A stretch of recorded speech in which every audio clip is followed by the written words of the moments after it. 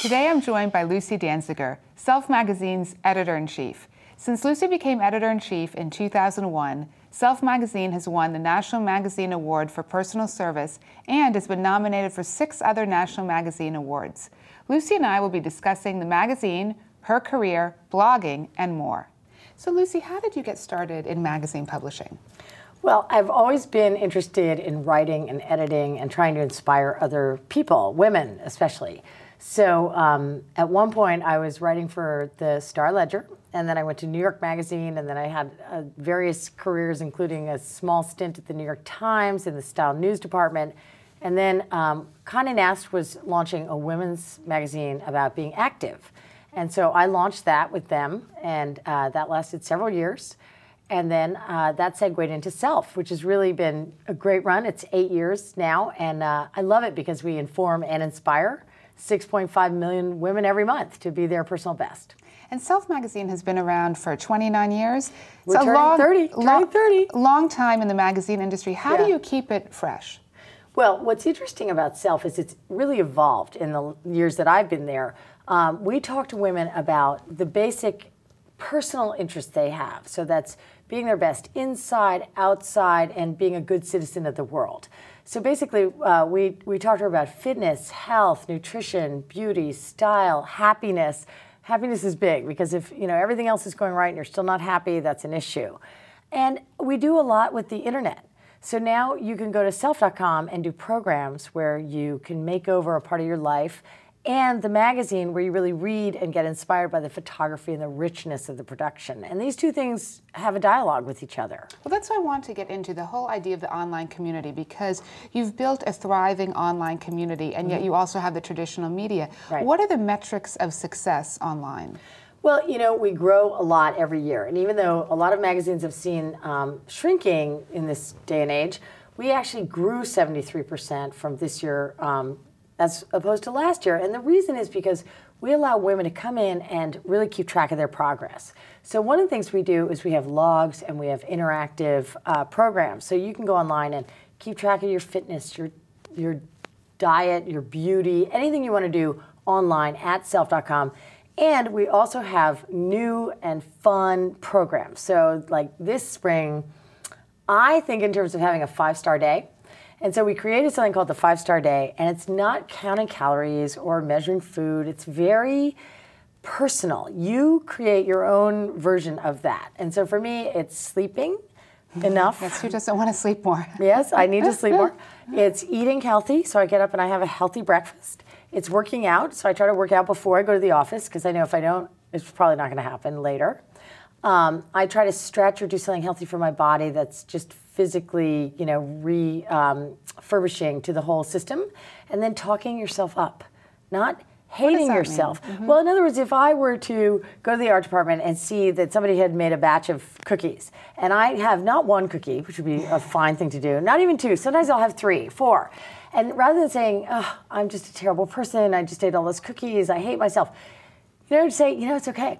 You're allowed some cookies, even more than you should have. It's okay. Just get over it, move on. Every now and then we overeat or we overindulge or we let ourselves have too many treats. Right. Not to get down on yourself, because that starts that cycle of sort of self destructive behavior.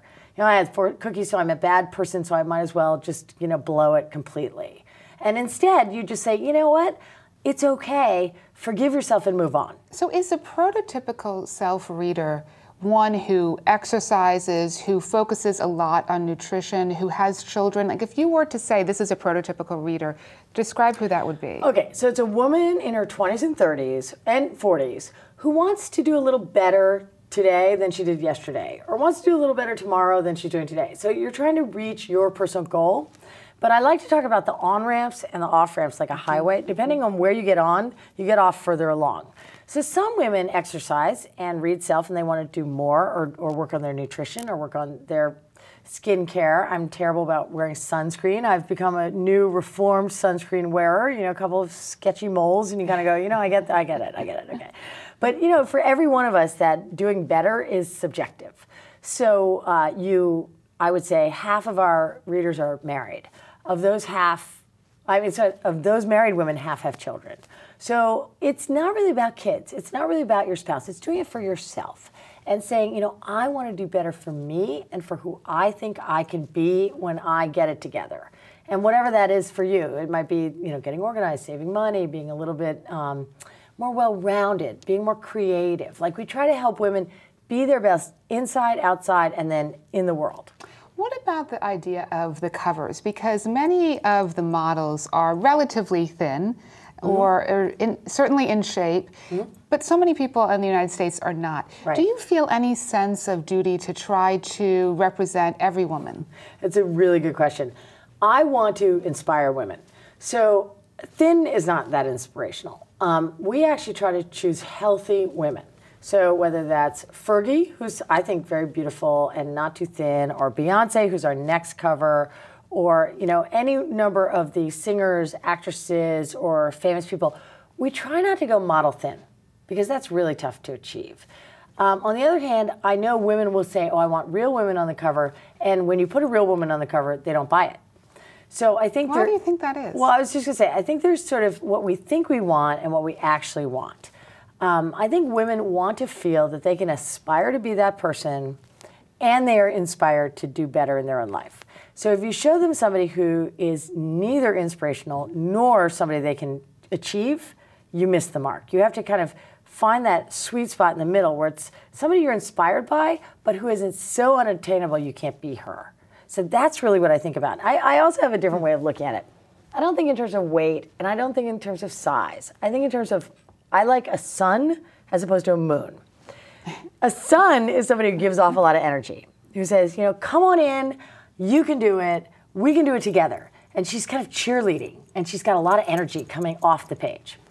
A moon is more of a reflector, and she says, look at me, I'm great. And you're the heat reflecting off her. So a moon works better on a high-end haute couture magazine. I would say like a W, where you kind of look at that woman and you go, wow, and you bring her the heat. With self, we're still selling, you know, healthy living, and that's basically eat your vegetables and exercise and be healthy and wash your makeup off at the end of the day and all the things you learned from your mom or somebody who was smart right, enough to right, teach you. Exactly. So we're still kind of saying, you know, it is what it is. There's no pill. There's no magic bullet. So we want somebody who's going to make it really, really attractive. So when we asked Beyonce and she said yes, she got in shape for her tour. She'd been on the cover when she first went independent from Destiny's Child. And now she got in shape for her world tour. She's so proud of what she did. So she's saying, I work out, I dance, I run, I eat healthy, I'm really strict, I've cut out the fried foods. And Beyonce is basically saying, you can do it too. But let me ask you, would you have put Beyonce on the cover if she had not been in that phase of really being fit and working out? She wouldn't have wanted to do it. So it, it becomes its own self-selecting thing. I mean, one time we asked an actress to be on our cover, and she said, "No, I'm sorry, I can't. I smoke." I was like, "Well, that's and who was honest." That? It was Lisa Kudrow, long time ago. So I don't know so if she smokes anymore. Lisa, I apologize if you're watching this. You've quit. Come call me up.